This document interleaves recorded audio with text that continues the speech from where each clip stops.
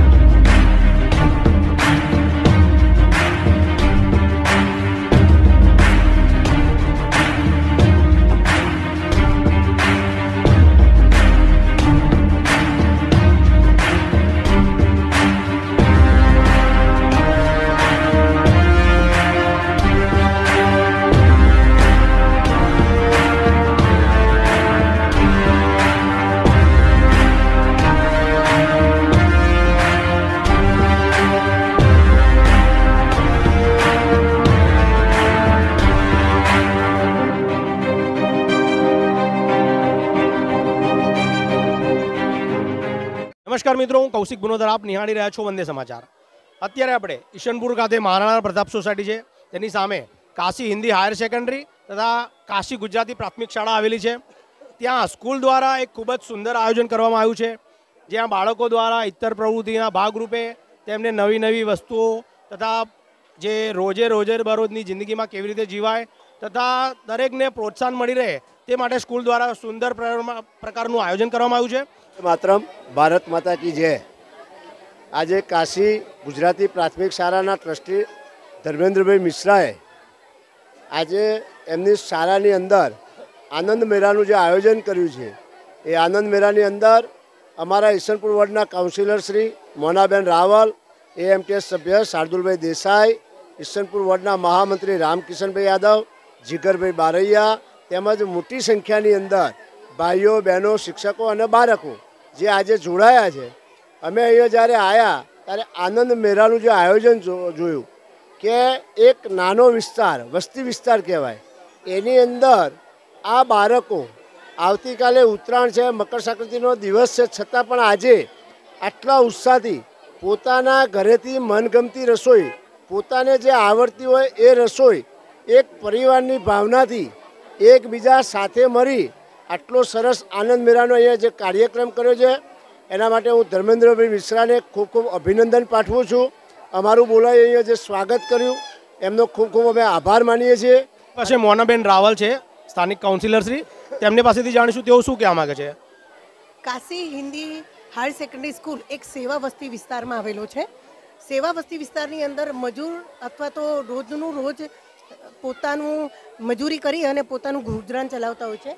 એમાં બાળકોને લગભગ સ્કૂલે મોકલવાના એ લોકો હિમાયતી હોતા નથી. છતાં પણ ધર્મેન્દ્રભાઈ મિશ્રાને અહીંયા ખૂબ ખૂબ અભિનંદન પાઠવું છું. વસુદેવ કુટુંબ, કુટુંબકમની ભાવના સાથે અહીંયા જે આનંદ મેળાનું જે અહીંયા આયોજન કર્યું છે દરેક વિદ્યાર્થી પોતાના ઘરેથી નાની મોટી, પોતાને ગમતી એવી રસોઈ, ધારો કે કાલે ઉત્તરાયણ છે, તો થોડી તલપાપડી છે, પાણીપુરી છે, અહીંયા હું દૂરથી જોઈ શકું છું કે ચાટ છે, એવી નાની નાની વસ્તુઓ લઈ અને ખૂબ જ ઉત્સાહભેર અહીંયા બાળકો જમે છે. એનો મને પણ ખૂબ આનંદ છે. ધર્મેન્દ્રભાઈએ આ હિન્દી હાયર સેકન્ડરી સ્કૂલની અંદર અમને અહીંયા પ્રસ્થાપિત કરી અને અમને જે બે શબ્દ બોલવાનો અને વિદ્યાર્થીઓને જોવાનો જે મોકો આપ્યો છે, એ બદલ હું એમને ખૂબ ખૂબ અભિનંદન આપું છું. ધન્યવાદ. સ્કૂલના પ્રિન્સિપલ શ્રી ધર્મેન્દ્રભાઈ મિશ્રા છે આપણે તેમની પાસેથી જાણીશું તેઓ શું કહેવા માંગે છે नमस्कार आपके माध्यम से मैं कहना चाहता हूँ कि Kashi Hindi higher secondary school यह मेरी एक स्लम विस्तार में अंदर आई हुई है यहाँ पे चारों तरफ बच्चे गरीब हैं लेकिन उसके बावजूद भी मैं यहाँ के गलियों गलियों में जा कर के और कम फीस में यहाँ की फ़ीस भी कम है और उसके वजह से यहाँ पे बच्चे प्रवेश लेते हैं और मैं उनको अच्छी शिक्षा देता हूँ और एक्टिविटी कराता हूँ जिससे बच्चों का सर्वांगीण विकास हो और आगे बढ़े। इसलिए मैं यहाँ पे हमेशा प्रयत्न करता रहता हूँ कि बच्चों का ढेर विकास हो जो है और सर्वांगीण विकास हो जो है यहाँ पर हमारे काशी हिंदी विद्यालय परिवार के सभी शिक्षक शिक्षक गण मिल करके ये आठ दिन से ये व्यवस्था कर रहे थे जो है आठ दिन से ये तैयारी चल रही हुई थी। आप देख रहे हो, यहाँ पे बड़ी संख्या में 400-500 से ज़्यादा संख्या पे यहाँ विद्यार्थी आए हैं वाली आए हैं। हमारे ईसन बोर्ड बोर्ड के कॉरपोरेटर श्री आए हुए हैं एएमटीएस के सभ्य शार्दुल भाई देसाई आए हुए हैं रोड एंड बिल्डिंग के चेयरमैन श्री शंकर भाई देसाई आए हुए हैं हमारे ईसनपुर बोर्ड के महामंत्री अजय भाई भैरैया एवं रामकिशन यादव जी आए हुए हैं। तो यहाँ पे इन लोगों का बहुत सहयोग रहता है जिससे बच्चे यहाँ पे ज़्यादा से ज़्यादा प्रवेश लेते हैं। जब बेटा आपका परिचय दीजिए पूरा।